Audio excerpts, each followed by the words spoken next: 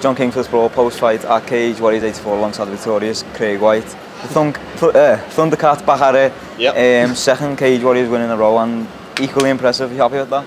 Definitely happy with it. Um, wasn't the result I expected. I was saying to Hakon in the uh, medical room that I expected to go three five minute rounds. Yeah. He did as well. If I'm honest, it's kind of a bit of an anticlimax. I don't Yeah. feel like I got going.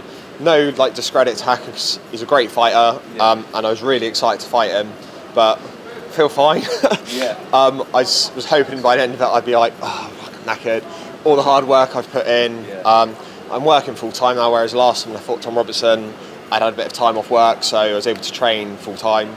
This time I've had to fit it around, so it's good to know that I can still compete to this level Yeah. whilst managing a full time job, which they're excellent support they've given me, um, and they've allowed me to be able to progress in this a bit more. Um, it's just great to have. Yeah. I mean, of course, last time you were in a bit of a war back and forth, you were cut, there was a lot of blood. As you said, it's a bit of an anticlimax, but thinking about it in the long run of your career, probably for the best, yeah. Yeah, in the long run, I mean, I'm fine. I could fight quite soon again, but I mean, to be honest, like my life's been on hold for the last six to eight weeks. Yeah. Um, so really, I just want to get having a bit of life, catch up with my friends. Yeah. Time my girlfriend. She's a bit pissed off with me for having to train so much, so quite rightly so. Um, and hopefully, I want to be back in on September October show. Yeah. Um, on a, obviously on a caterer show, um, and I'm eager to see who they want to put me up against.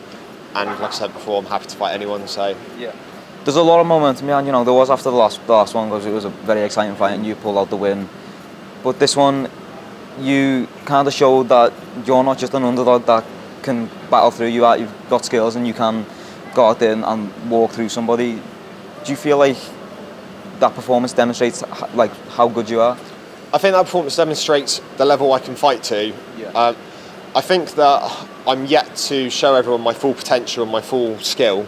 Um, but I think everyone's like that. It's quite Yeah. difficult to channel everything you've put into training. Like my game plan didn't necessarily work out. I tried working it, it didn't. So I had to adapt, improvise, and overcome as you do. Yeah. Um, but I think that makes a good statement on where I am, what I want to achieve, um, and I hope that it gets some credit and gets taken notice of. I'm not just here to get bumped up onto the main card last minute. I'm a main card fighter. I love opening up the Cage Warrior show. I'd rather be opening the show than a co-main event. I love knowing I'm fighting at nine. I love telling people that I'm the first Yeah. fight you're going to see. Yeah. I love putting on a show for the crowd.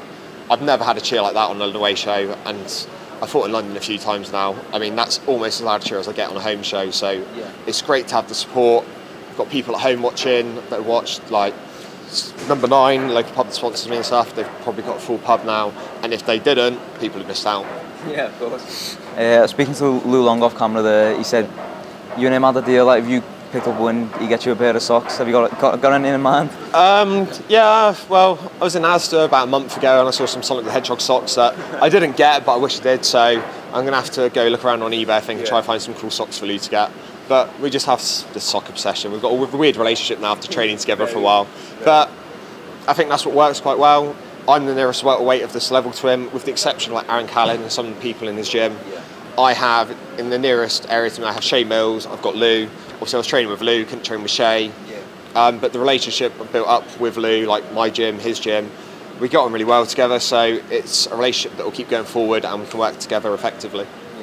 You probably know more about socks than me, but is there a, such thing as like toeless socks to show you your beautiful painted nails? Um, I'm not sure. I think flip flops just work as well. If not, I just wear barefoot. So, but my girlfriend is very stylish. I've even got a little heart on one of them this time. So, you know, I think it's just there. Lucky man. luck. yeah, very good man. Uh, what you, you said you want to be on September, October. I think they got uh, a Liverpool show um, in October. yeah. Is there any opponents in mind, or whoever you get? Honestly, I'm not bothered. I just want to turn up and fight. Like, Yeah. Like I said, I would happily have maybe fought Inman um, tonight, but obviously he had Wheeler, so um, that's a fight potentially for the future. But I never expected to get off at Hakon Foss. I, I'm sure, I, like you said, I was the underdog. My friends have made money on me because I was the underdog on BetSafe, so I'm quite happy to go in fight whoever, whether I'm the underdog, whether I'm the one who's got the better odds, whatever. I don't care. I'm just Yeah. here to fight. I've been in the sport 10 years now. I've been competing at pro for like eight going on nine years. Yeah. And maybe I'm finally getting the momentum I need to get to where I want to be, but I don't even know what that is at the moment. I just Yeah. love turning up, fighting. People who I train with that support me, I do this for them. Like the support I get from my friends and family. Um, local area is brilliant. It's starting to catch on, um, especially in the like down in the southwest. We've got Exeter Chiefs who won the Aviva Premiership. People would have thought that seven years ago, and now look at them. And I was there last week, and it was awesome. So Yeah. hopefully, the success we've got in the southwest will keep going, and people start taking notice. Yeah. Do you think, uh, you know, certainly from my point of view, there's kind of like there's a jump up in, in kind of like the UK and me welterweight scene. At most weight classes, it goes from guys kind of prelim fighters and opening the main card like you are now, no offense, to the Matt Inmans and the Yeah. Brad Wheelers. Do you think you're that level now? I think I am, yeah. I think, like I said, I've not had a chance to fully showcase my skills. I get a bit of momentum, I make a silly mistake, or I take a fight on stupid notice and I lose. Um, again, like you get caught, fought Mike Shipman last year. I gave up a fair bit of weight on that. That's what helped me realise to go down from middleweight back to welter.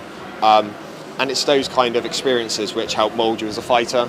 Um, but I would hope that this has now put me up the rankings. Like I think when I looked yesterday, I was number 40. But you've got people with no discredit like Shea Mills.